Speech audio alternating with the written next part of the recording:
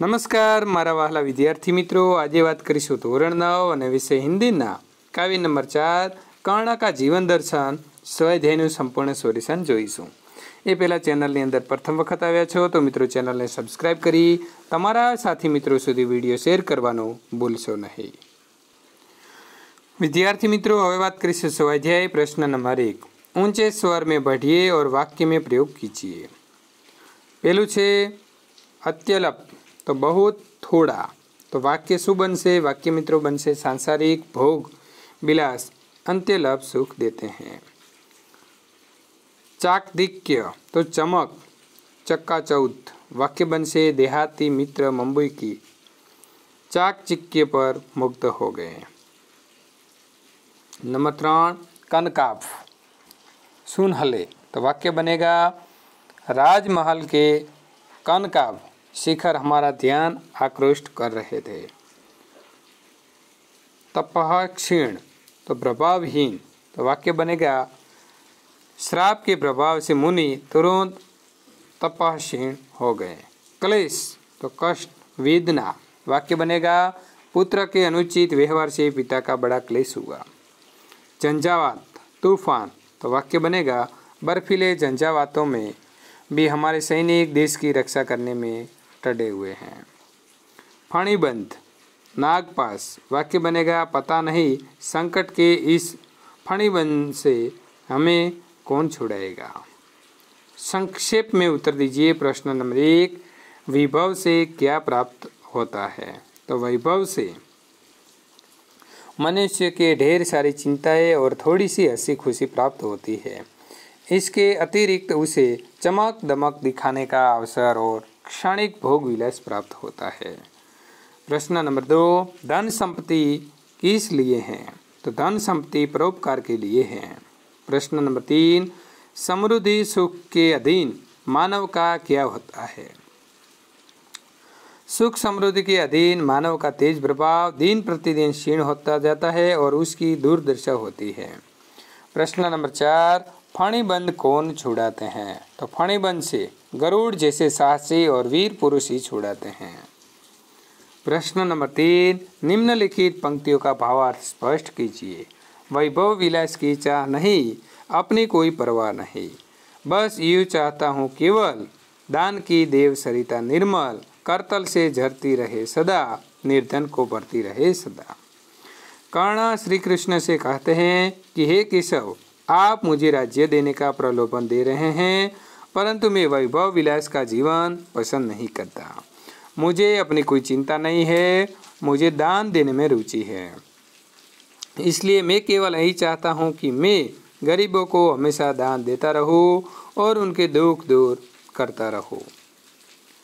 प्रश्न नंबर दो, मैं गरुड़ कृष्ण, मैं पक्षीराज सिर पर ना चाहिए मुझे ताज, दुर्योधन पर है विपद घोर।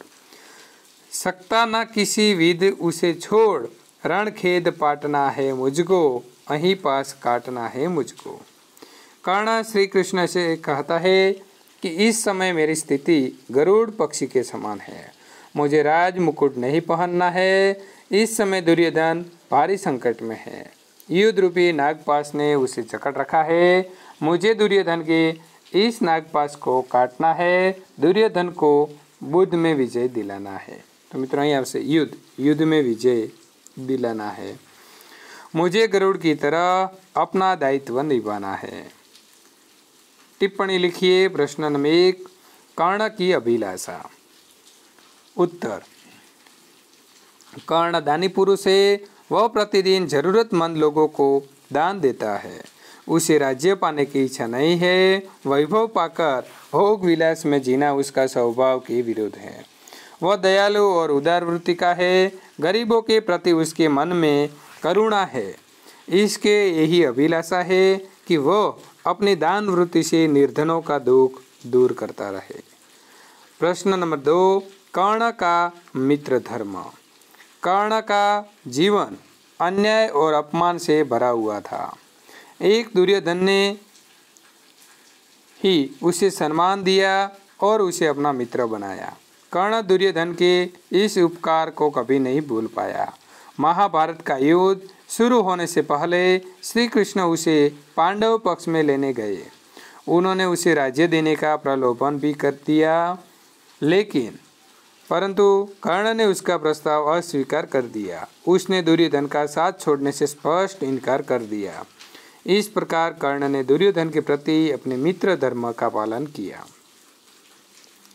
प्रश्न नंबर पाँच विरोधी शब्द लिखिए निर्मल तो मलिन निर्धन तो धनवान प्रभुत तो कम कोमल तो कठोर अमृत तो विष निम्नलिखित शब्दों के समानार्थी शब्द कोष्टक में से ढूंढकर इन शब्दों का वाक्य में प्रयोग कीजिए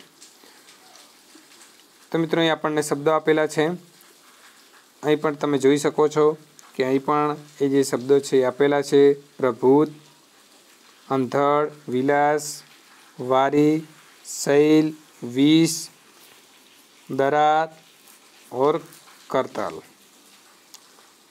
तो सुखभोग तो विलास हथेली तो करतल प्रचुर तो प्रभुत दरज तो दरार आंधी तो अंधड़ पानी तो वारी गरल तो विष અને चट्टान तो शैल वाक्य प्रयोग राजा सदा विलास में डूबा रहता था। बच्चे का करतल देखकर ज्योतिषी ने उसका भविष्य बता दिया। नंबर तीन, वह गाँव में रहता था, पर इसके पास प्रभुत संपत्ति थी। गरुड़ पहाड़ों की दरार में निवास करता है। सारी रात अंधड़ ने कहर मचा दिया। सदा स्वच्छ वारी पानी पीना चाहिए। देखते ही देखते सांप का विष बच्चे के शरीर में फैल गया। शैल से उस पार झरना था। अंदाज अपना अपना अपना मत स्पष्ट कीजिए। यदि कोई ज़रूरतमंद इंसान आपसे मदद मांगे तो आप क्या करते? यदि कोई ज़रूरतमंद इंसान मुझसे मदद मांगे तो पहले मैं उसकी ज़रूरत के बारे में पूछूँगा। यदि मुझे उसकी ज़रूरत सच्ची लगी तो मैं अवश्य उसकी मदद करूँगा। मदद करने में ये दूसरों के सहयोग की आवश्यकता हुई तो उनका सहयोग भी लेने में संकोच नहीं करूँगा। प्रश्न नंबर दो, आपको पता चले कि आपका दोस्त संकट में फंसा हुआ है तो आप क्या करेंगे? तो संकट में पड़े हुए मित्र की मदद करना मेरा कर्तव्य है। इस कर्तव्य का पालन करने ही मेरा मित्र धर्म का को निभा सकता है।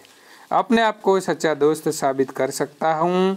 इसलिए संकट में पड़े हुए मित्र का, मित्र को संकट से संकट से छुड़ाने में मैं कोई कसर नहीं छोड़ूँगा। मित्रों छो करी देवानो।